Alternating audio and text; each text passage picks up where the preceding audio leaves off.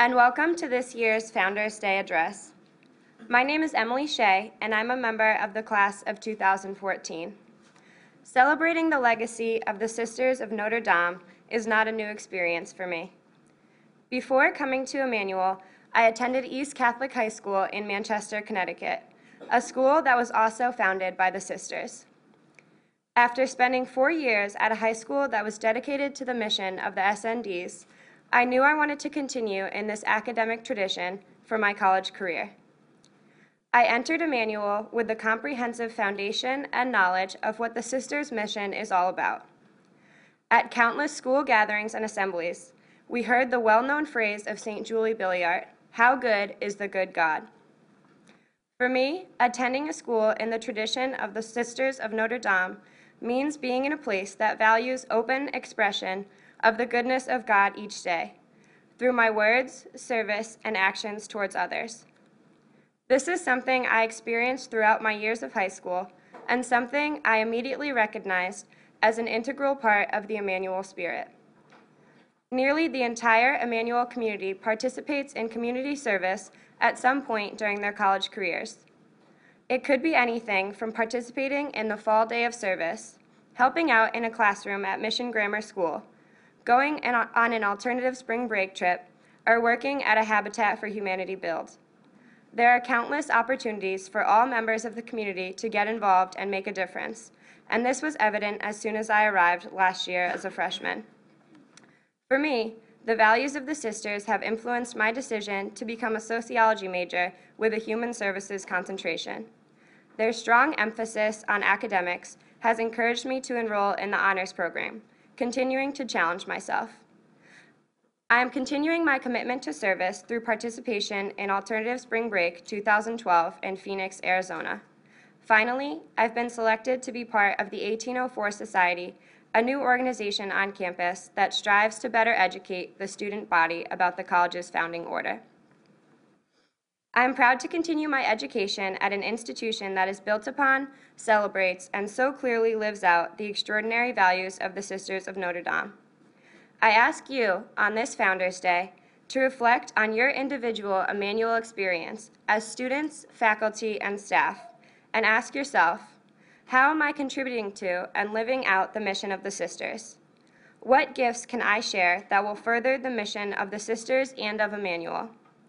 How am I going to personally continue their commitment to education and to social justice? At this time, I would like to invite Carolyn Caveney up to deliver the invocation. Wow. Great, Emily. Thank you, Emily. Let us take a moment to be aware of God's presence.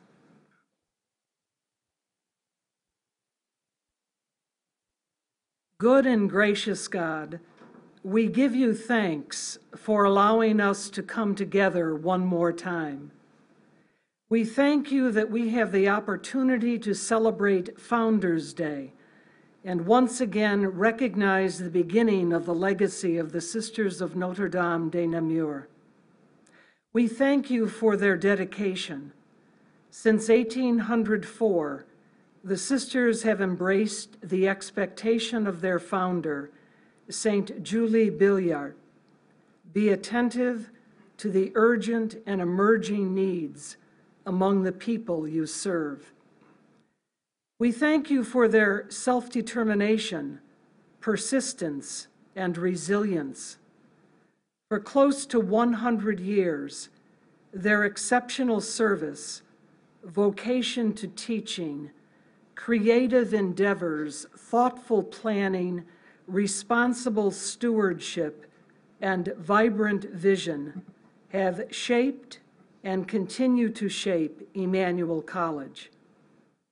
We thank you for their collaboration, and we appreciate and accept their invitation to be contributing members of this community of educators guided by the words of St. Julie. Teach whatever is necessary to equip students for life. So, in this moment, let each of us in the quiet of our heart offer our own thank you for these blessings and those that continue to shower us each day.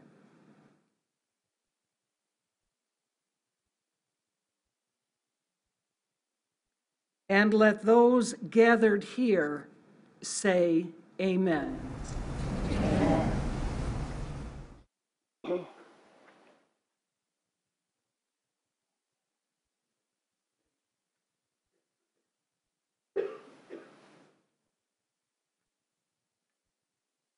I am pleased to introduce the president of Emmanuel College, Sister Janet Eisner, SND.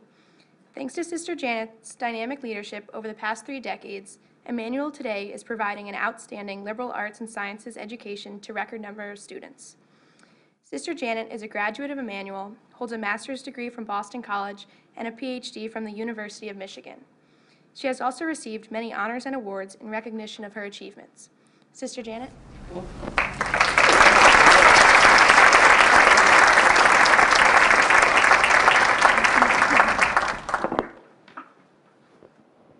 Ready? Thank you so much. This Founder's Day has been out, this Founder's Week has been a grand celebration, and I think the best that we've ever had. And each year, we seem to get more people involved and pre- prepare more programs. So thank you to all those who have worked on it, especially Mark over there, Mark Harrington, and all the students from the 1804 Society and others who have participated, as well as campus ministry. I am just beyond, over the top, in terms of what, what's been happening. So it's a very special day. It's a very special joy to, to be with you today on our 20th Founders Day. And this is also, as you know, uh, part of our mission based planning initiative as we come to understand more of the founding vision that informs our own mission. So, the founding vision of the Sisters of Notre Dame speaks, as does the mission of Emmanuel College, in a compelling way to our time today. And we're beginning with the sunflower.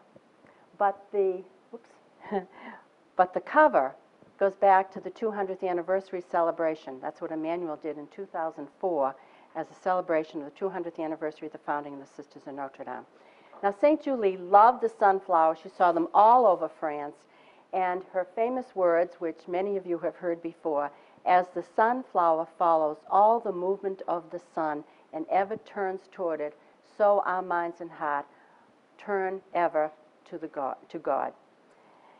St. Julie Billiart, taking this from statements in our constitutions the Sisters of Notre Dame, filled with love for God and God's people, commits her life, committed her life completely to God to spread the gospel everywhere, especially the gospel that she believed that God is indeed good. Her joy and deep rooted trust in God, made strong in years of contemplative prayer, of physical pain, and of persecution, attracted others, Francis Blin de Bourdon uh, to begin with, and others to follow Jesus according to the spirit and wisdom of Julie. The Sisters of Notre Dame aim to express in our time, as Julie did in hers, that God is good. We search anew in each time and place for ways to spread the gospel and to take our stand with the poor. We value the focus on education in our tradition and give special attention to the educational dimension of our mission. That's from the Constitutions. Now, briefly, Julie Billiart, born in 1751, the daughter of a shopkeeper in Cuvilly, France. She saw her family robbed, her father shot, and she herself became paralyzed at the age of 22. During the time of her illness, when she lived in Compiègne and in Amiens, Julie learned to trust in the good God and exclaimed often, How good is the good God? Frances Blin de Bourdon was a member of the French aristocracy, and she was drawn to Julie, and both women witnessed firsthand the French Revolution and the resulting lack of education, especially education in the faith, especially of young people. Two women from very different backgrounds, their relationship rooted in the love of God and were the people who brought about the founding of the Sisters of Notre Dame. These are pictures of Cuvilly, of Julie's home in northern France, and the next one is as well, that's a picture of the garden and the church there. Julie and, and Francis shared a passion for education. So in 1804, they made vows to God to devote themselves to the education of youth and to go wherever they were needed to instruct the poor free of charge, and they had the courage to form a new congregation of women religious. They attracted many young women to join them from two distinct cultures, the French and the Flemish, and they were very, very different. The next slides are of Amiens, where Julie and Francis really began. Julie believed that God was calling her to form a religious congregation which would go all over the word, world, would be apostolic and mobile, not monastic, in other words, not staying in one place. The Bishop of Amiens had other ideas, and he believed that she needed to stay in Amiens. Now, what you have here is the picture, the, the further one is the picture of the beautiful, magnificent cathedral of Notre Dame in Amiens. And that picture is the picture of Le Beau Dieu that she was so fond of and which she saw so often during her days in Amiens. The other is the garden of the bishop, and I'll tell you about that now. So powerful was Julie's experience of God's call that, that she had the courage, this is 1804, to withstand the raging criticism of the bishop. And that's the not, not the first time that she experienced it or that others have experienced it. Julie and Francois, after this experience, made the most difficult of all decisions, and that was to leave their country of origin, the country of birth, become expatriates, and to accept the invitation of the Bishop of Namur and move to Belgium in order to carry out their mission. Now, this here is a picture of um, Francis Blin de Bourdon, and what you see across from that is the Hotel Blin de Bourdon, which is still there in Amiens today. And that is where Julie and Francis spent, spent some of their time. So they make this decision to leave Amiens to go to Belgium, and because the bishop insisted that they stay. So from the very beginning, Julie and Francis had to train the young women who would come to them to be teachers in the schools. Wherever she and Frances went, they opened boarding schools and always free schools for the poor. Julie undertook journeys, uh, over 120 of them in 12 years, some of them at a 750 mile stretch, even though she had to travel by foot, by stagecoach, in very difficult times. And I'll comment on that. But first, I want to talk about their move to Namur. The picture on one side is the picture of the first house in Namur. And the next picture down below is a picture you see Sister Anne with two of the Belgian sisters, and that's in the garden outside of that. This rock here was given to me by uh, Sister Ellen Gilty on the occasion of my 20th anniversary. Uh, she, I don't know, she managed to take it from the garden in Namur and bring it here. I didn't take it. and, and the plaque reads, um, the great to, to, to me at Emmanuel College, continuing the greatest work on earth. All right, this next picture is really the picture of the mother house in Namur, which Julie founded. And this is, it's, it's about the size of a half a city block. It's totally enclosed. It's a school itself. And the, the picture that's furthest over is the picture of the garden chapel. Can you hear me all right? Wally's working great. Um, and it's in that chapel, we'll go into the chapel, Megan, um, that you have the, a number of plaques um, from people all over the world to Julie Billiart, as well as the insignia, which you see at the college here as well, Aquile Bon, le Bon Dieu. And the next slide, two slides that are very specific to Emmanuel. The first one, this is a copy of it, was put there by um, our alums back in 1930, and it said, Mère Blessed Mère Julie, protect and increase Emmanuel College, Boston, USA. Well, that has happened. And in 1935, that was certainly a prayer. The other slide is, says on it, you can't see it as well, uh, and it says, with gratitude for bringing Julie Hall home to Emmanuel College, Nicole de la Hynes, Thomas Hynes, October 12, 2003. And for the students who um, for whom this is new, Julie Hall was the first residence hall built at Emmanuel, named for St. Julie, obviously. In 1958, it was built. And in 1974, we sold that building to Beth Israel Hospital. It was known as the Libby Building until around 2002, when the students, our enrollment began to increase significantly, and um, it looked as though we had very, very little chance of ever getting Julie Hall back to Emmanuel College. In fact, the chance was about this much. But with, I'm sure, a lot of help from St. Julie and from Nicole de Lavar, who was a student, was a student at Namur. And in fact, the pictures of, with Sister Rhiannon with me earlier, those, those are her teachers when she was there. And her husband is one of the best real estate people in Boston, now the chair of our board. We were able, against all kinds of odds, just think of how much building has happened out here. Everyone wanted that land, and we wanted it more. Um, but we didn't have the money that everyone else had, and that came home. So we thought a plaque in Namur was very appropriate to celebrate the return to Emmanuel of, of Julie Hall. So that's the story, especially for some of you who weren't here in 2002 when that happened. Is there another slide here, Meg? All right, this one, it's taking us up to Ghent, which was another, um, that's in the north, in, in the Flemish section of Belgium, and that particular edifice was opened in 1806, and that is truly the size of an enormous city block. And it is still, these, these um, institutions are still running, very healthy institutions, lots of students going to them. And that's, again, the plaque there with a member of the um, North Belgium province, Sister Gabby. So, now let's, that's just to give you a picture of Namur a little bit. And this is the house, the first house um, that the sisters went to in Namur. But I think it's important to just pause a little bit and look at what was going on. Julie was totally undaunted in carrying out this mission. But let's just take a pause. Some of you really love history, and so I won't get into this a lot. But in order to understand what's going on, we need to look at what was going on in the environment. So just imagine what it was like, as I'm talking about this, to open houses all over Belgium. She already had several in France during, during this time. First of all, the French Revolution, 1789.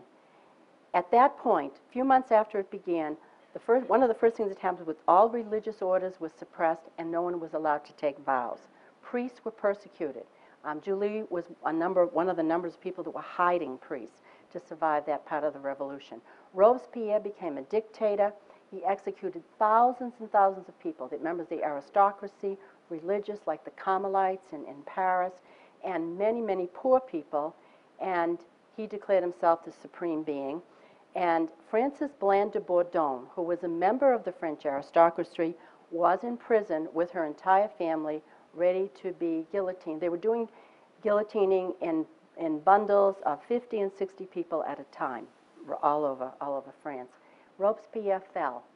I think it was two days before she was scheduled to, to go through the guillotine. That's, that's in 1794. In 1804, 1804 Society. You're celebrating February 2nd. But in May, Napoleon was consecrated emperor. He had been, France was at war with most of Europe. And so Napoleon was spent most of this time marching his troops through France, Belgium, and around. 1815 was particularly concerning because by then there were a number of uh, houses and schools and boarding schools that the sisters ran. And in 1815, what happened, all you history majors? A- uh, 1815, Battle of Waterloo. And Napoleon is defeated. Where is Waterloo? 20 miles outside of Brussels. So there are 25,000 French troops who are hungry, tired, and so they come through these towns, open, going into the schools, going into the houses. And Julie, at one point, talks about how she had to put up extra bars um, because after the French came the Prussians who chased the French back into France. So just imagine running schools with children, keeping the community moving, keeping the mission going on under those circumstances. And that didn't end there. Um, if you think of, think of this area in World War II, World War I, um, Flanders Field, uh, where the Flemish are, um, certainly that was certainly a, a horrible experience. And these people, these sisters, these students, these schools, They experienced this. World War II, 1940, the Germans bombed the mother house in Namur. And I know I mentioned Compiègne. My dad fought in World War II, and it was his regiment that was in Compiègne. The Americans were in Compiègne and in Namur as they were coming across to try to bring closure to the war that was going on. Bastogne is another house in, um, near the Ardennes, and in that community, the basement, one third of the basement were the sisters with the boarders and the students. The other third was with the wounded Germans, and the middle were with the American soldiers. So this area is just um, ripe from, from the Napoleonic days right through. All right, enough history, but I just want you to know there's a lot more to look at. We're just doing some highlights here, so to speak. So, Julie recognized the importance of the task that she and Frances were undertaking, so she told Frances to write the annals of events, and Frances did it very carefully. Today, we have copies of all the letters, 484 letters that Julie wrote during that time. This is the clean version.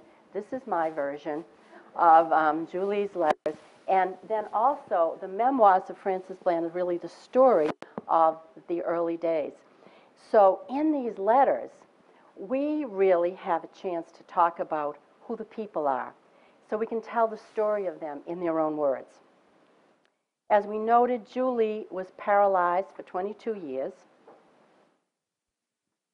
Excuse me, she was cured miraculously in June of 1804, and she began her public ministry at the age of 53. Julie is seen, 53, she's seen as a vigorous and dynamic woman with remarkable gifts of mind and heart, vivacious French temperament. She was quick and lively, brisk in manner. She laughed often, and people loved to be with her. And the letters are filled with that and the stories that go with it. Much of her time was spent informing the young sisters. Now, you know how old the young sisters were? They were probably in age from 16 to about 21. And remember, they had not been educated. During the French Revolution, schools were practically not existent. So she not only had to, had to form them in terms of religious life, she had to educate them first. And it's interesting, she was a great judge of character and personality. Um, she said to one of the young sisters, Make up your own mind this time. Better mistakes than paralysis. Indication of where her head was. Julie's principles of education can be found in her letters and her conferences, and there are numerous ones. She urged her sisters, the teachers, to act and do everything with great liberty of spirit, to teach children to act with liberty of the children of God. And she instructed children in the basics of arithmetic, grammar, spelling, and writing, and she wasn't so high on the mania that she called embroidery. She urged the teachers to be gentle but firm with the children and please don't be dull as ditch water, she told them.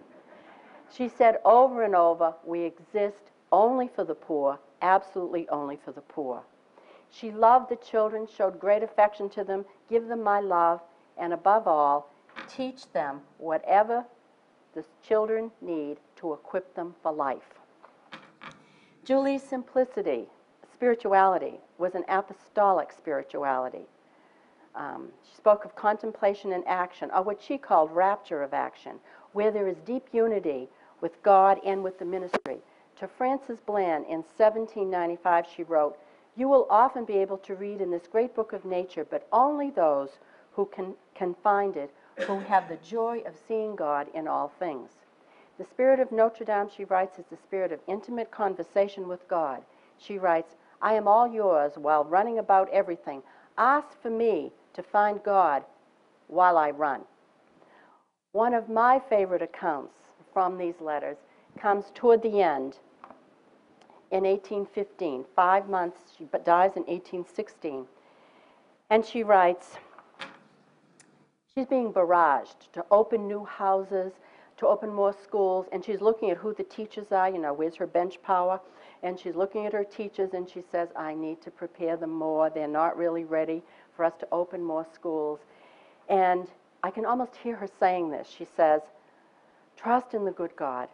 It is His work. That is the only prayer I can say. My God, it is your work. With this, I pass through all difficulties. So, in my own experience, Um, I found a lot of consolation in that because I also breathe, my God, it is your work. But what amazing work it is that you and I are engaged in, and what Julie called the greatest work on earth.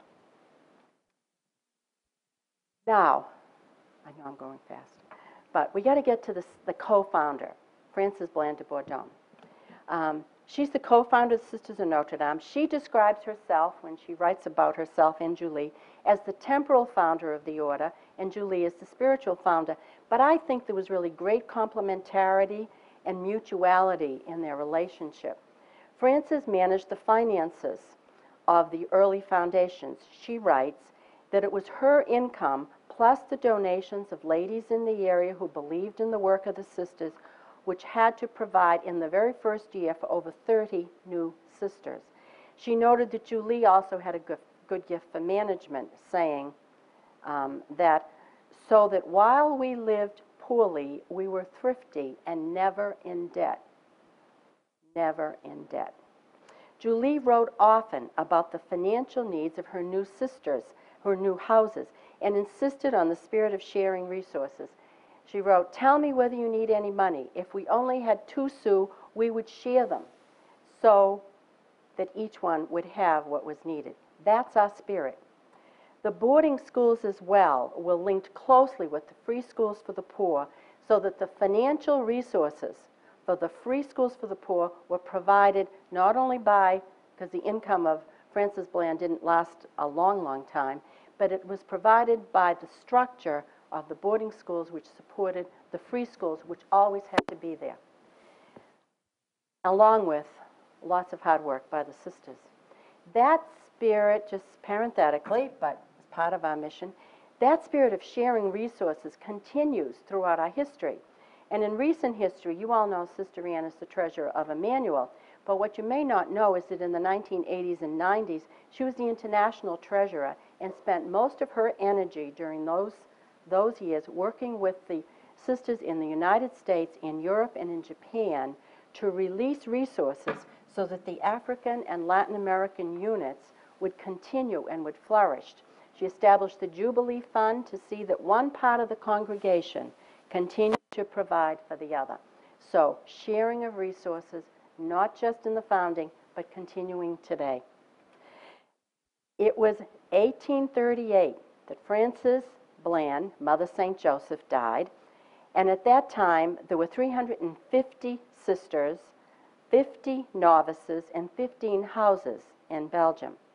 The schools that they opened were noted for excellent education in both the free and the boarding schools. Now, the co-founder, Frances Frances, was known as Mother St. Joseph, so you'll look at material says Mother St. Joseph. And by the way, Julie's name uh, in religion was Sister Ignatius, but she couldn't sign her letters Sister Ignatius until 1814 after the suppression of the Jesuits was lifted in France. The, it was the third superior general of the Sisters of Notre Dame, Sir Ignace Goethals from the Flemish section, inspired personally by Julie, whom she met as a child, who prepared, who pledged when she was very young to go to America. So in 1840, six Sisters of Notre Dame set sail from Antwerp, Belgium, to cross the Atlantic to America to carry out the mission of the Sisters of Notre Dame. And that's the first place they went. Interesting, they didn't cross the channel to England right away. They didn't go to any other part of Europe. They crossed the Atlantic to come to America. And they go first to Cincinnati, and then from Cincinnati, they come to Boston in 1849. And they came in response to the invitation of Father McElroy, S.J., and they went to St. Mary's in the North End. They opened schools immediately, and at the same time, that particular time, they ran the only Catholic school in the city of Boston. There had been others that had been forced to close, so they were running the only school, and then they kept on going. Uh, they opened, do you recognize McElroy, any of you? What do you recognize? McElroy, you got it. Good. and so they opened the academy at Lancaster Street in the North End, then Berkeley Street. That's like diagonally across from the old John Hancock Um, They had it there, they went to Cambridge, and then all the mill towns, Lynn, Lowell, Lawrence, Chicopee, Springfield, one right after the other, they opened schools. And they also, in places like Lawrence, they took care of the children during the day and taught the 16 and 15-year-old girls at night so that they were educated. They were working in the mills. Whenever you hear bread and roses, they were right there dealing with uh, the new people. They opened lending libraries in the North End as well as schools. So the mission grew enormously in this part of the country, in Massachusetts and um, particularly. The mission continues, and I know that part, there's so much more here. This is another whole talk. What happens when they cross the Atlantic? And we can do that. Lots of great stories there. Actually, their first move to Boston was quite hilarious, how they arrived. And uh, students, about, oh, 15 years or so ago, wrote a play about it. And it was very humorous, um, what it looked like when they came for the first time to, to Boston. But this mission continues, and as part of your Founders Week, you've seen the story of Sister Dorothy Stang, who was murdered in 2005 for, for protecting the people who lived in the rainforest in Brazil. And before that, there have been a number of sisters murdered for carrying out the mission, certainly in almost each one of the African countries, as they tried to uh, preach the gospel, as she was doing in Brazil. Julie's vision to go all over the world is certainly realized with Sisters of Notre Dame, as you know, on all five continents. And I'm going to ask Sister Susan to say a word or two about um, the growth in the mission. Is Sister Isabel here? I can't Congo?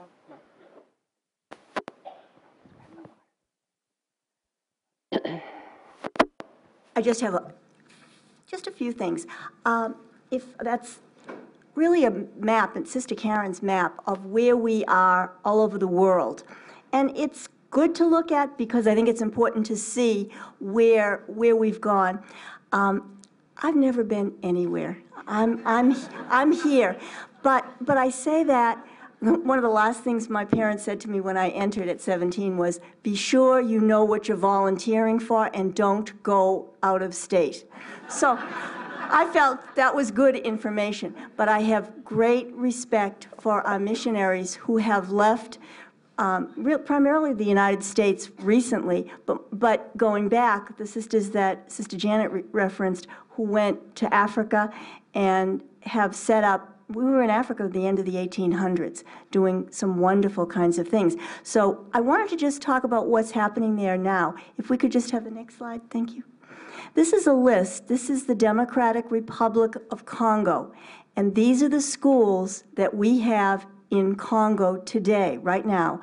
And I think if, if any of us are older, we remember there, there were uh, Catholic schools on every corner when I was growing up, and you, you didn't have to go very far to be into the next parish and the next school. We've also seen many of those close, and when you look around at Emmanuel and you say, well, there, you know, don't seem to be too many people walking around with the Notre Dame cross, we're, we're other places doing some really interesting things. Each of these schools can have between 1,000 and 2,000 children. And lists don't do anything for me, so let's have the next, okay. This, the pictures we get from Africa, I, I taught 35 students my very first year, um, teaching a sixth grade, and I had a lot of trouble with them. Um, there may be 50 or 60 children in a classroom, and they sit and their little hands are here and they just look. And they don't have necessarily all the books, everything that they would need if they were in, uh, you know, in a very, very um, affluent country, but they are learning and we are teaching them. And those students are going on to high school. Some of those um, schools were high schools that I, um, were on the last slide and, so, and many of them are going to college. So you can see that there's the Notre Dame. It's, it's, not, it's not a great building, but it's got the Notre Dame cross on it. And I want one, in the corner it says, um, I think it says, the power of the sun. And I would love at some point to have us know more about that. That's a photovoltaic project the Sisters of Notre Dame have begun in um, many of the African countries because what it does is it takes the power of the sun, transforms it into electricity so that we can run the um, power in the schools? Computers. And that's making a huge difference in the educational pieces that we're working with in Africa. And then just one last one. These are our young African sisters, and the first time, Sister Anne Mary showed a slide years ago, and it was a picture of um, a lot of our African uh, novices, that's the youngest sisters, uh, just as they were making vows, and they were just getting the cross.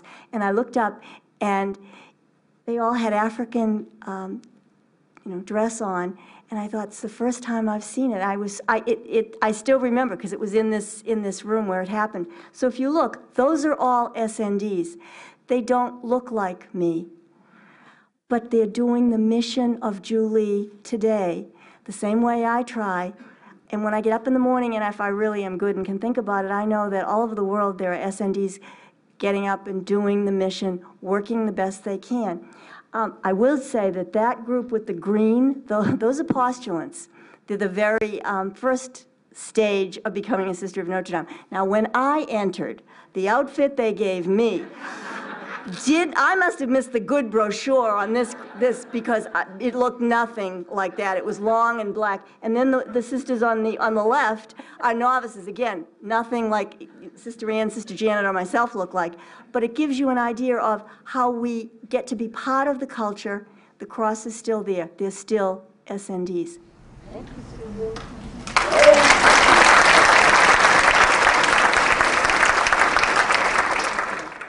So whose mission is it now? Ours. It's all of yours, belongs to each of you. And I love the card that was given out as part of Founders Week. How good is the good God? Why can't we proclaim it to the whole world? And with that, I bring this part of the program to a close. So thank you.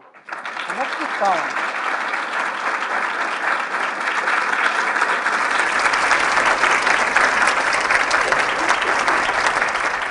And the final word, as it should, goes to a student. Jordan.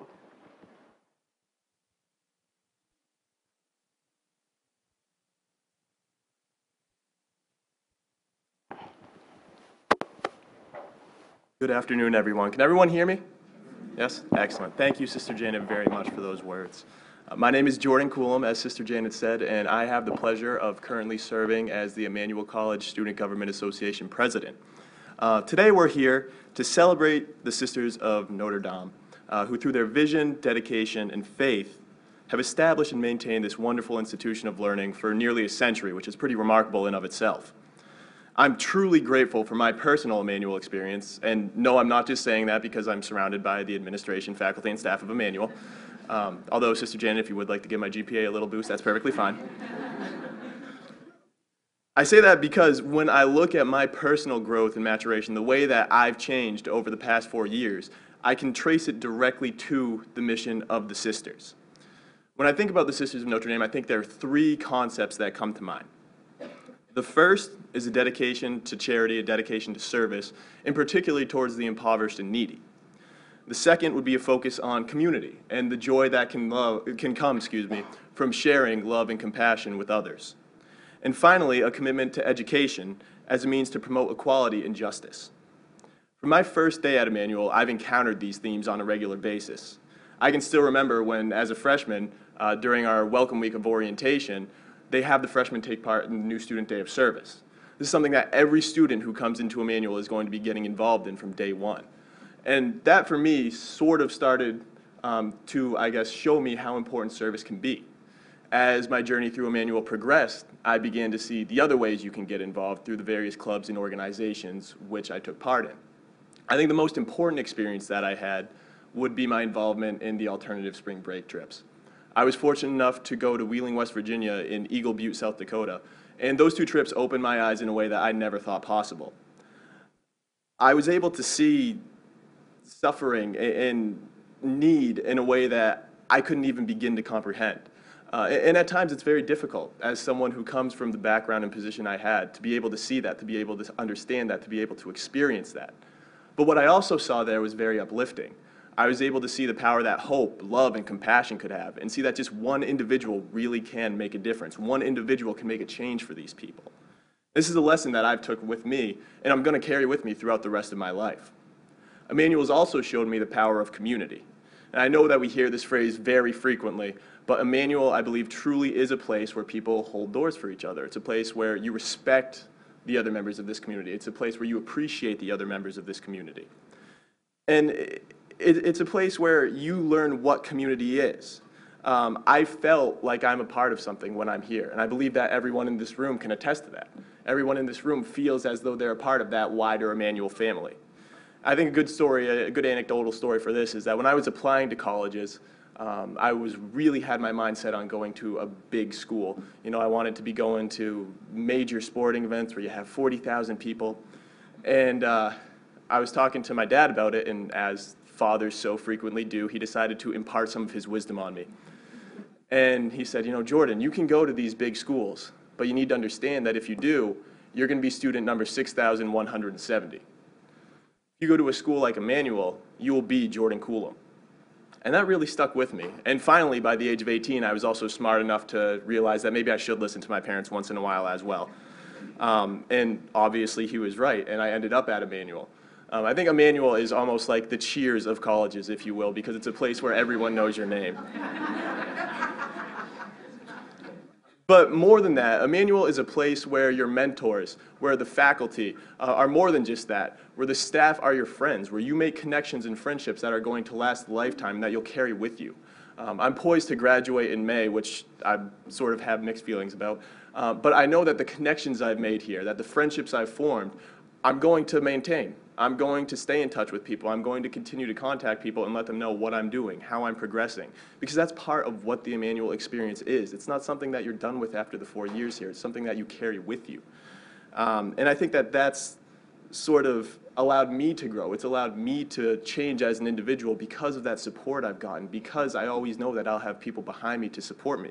And I think that idea of mutual support, that idea of everyone relying on everyone, is indicative of the mission of the sisters. It's a reliance on the whole being bigger than the individual. Um, and when we take that into mind, we can truly grow as an institution. Finally, and perhaps most importantly to me, has been the sisters' commitment to education. Uh, this belief is truly sacred to me as I've been raised around education. My mom was a kindergarten teacher for the better part of 25 years, and now I'm looking to become an educator. Uh, the running joke in the family is that I'm looking to take over the family business, um, although it's probably not in the way that my parents would have expected. But at Emmanuel, I've been able to learn that education is an extremely powerful tool. It's a tool to empower those who have faced adversity. It's a tool to combat poverty, a tool to spread love and compassion. Education is a transformative force, one which has the power to uphold our American values and to provide an equal playing field for all. And it's not just the idea of providing education, it's the idea of the type of education that you provide. It's how you teach people to think, how you teach people to learn. And I think Emmanuel is a testament to that. I can see the Catholic intellectual tradition well and alive at Emmanuel. Learning is a communal experience where everyone's differing opinions are expected to be brought forth, where they're respected, where they're appreciated, where they're encouraged and discussed. It's, a, it's growth through the knowledge of other people. I learn as much from my peers as I do from my faculty, and I think that's a testament to how the faculty teach us, because we encourage those different ideas, because we encourage those differing viewpoints. And that's a very much um, an idea that's in line with the Catholic intellectual tradition. Yes, I've been taught to think rationally and intellectually at Emmanuel. Yes, I've been taught to think analytically. But beyond that, it's been tempered by a moral and ethical awareness. You don't see things in black and white. You think about the wider repercussions. It's a very pragmatic way of thinking. You see the big picture. You're able to think deeply at a level that I don't necessarily know um, is there without that. And I think that this is a quality that's extremely important. Excuse me. Um, a quality which is extremely important, especially when we consider that we're in an ever changing world where sometimes it can be more difficult to tell the differences between right and wrong. At Emmanuel, I've seen firsthand what the concepts of social justice and social awareness mean. I've discovered how to approach problems with an open mind while owning my critical thinking and analytical skills. I now understand acceptance, love, compassion, community, and service on a level which I never could have before. With this in mind, I can honestly claim that Emmanuel has provided me with an education not simply focused on internalizing and repeating information, but rather on cultivating me as an individual, as a confident and conscientious intellectual, poised to make a positive impact on this world. When I look at my Emmanuel experience, I see the mission of the Sisters of Notre Dame and the, the vision of St. Julie still permeates this campus, still permeates these walls. And it begins to go beyond that because the students and the faculty and the staff who leave Emmanuel take that mission with them wherever they go. It's truly a remarkable way of spreading these ideas, of spreading this mission and taking it one step further. And I think today, when we celebrate this legacy, we're not only celebrating the past, but we're celebrating all of us, the people who embody this legacy today, the people who live this legacy, the people who continue to keep the dreams um, and the visions of St. Julie and the sisters alive. I think that we celebrate the faculty and the rigorous curriculum who teach us to think conscientiously and morally. We thank the staff and administration whose constant support and guidance teach us the value of community and dedication. And we thank all those other members of the Emmanuel community, be they alumni, students, trustees, or anyone else who's taking that mission, anybody else who's been touched by their Emmanuel experience and is carrying that with them. And finally, and most importantly, we thank the sisters themselves, whose diligent leadership and understanding have allowed Emmanuel to be able to change with our ever-changing world. The world that the sisters encountered when they founded Emmanuel is very different from the world we live in today. And the school has changed.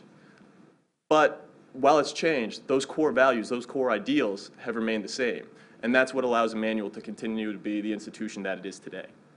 I would like to close by saying that, as many of you know, we frequently reference the fact that Emmanuel translates into our God with us.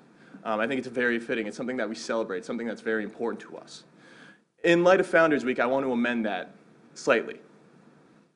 Our God is with us, but in addition to that, St. Julie is with us, and the sisters are with us as well, through the mission and through the way that we act on a daily basis. And if we continue to hold onto that mission and onto those values, they always will be. Thank you.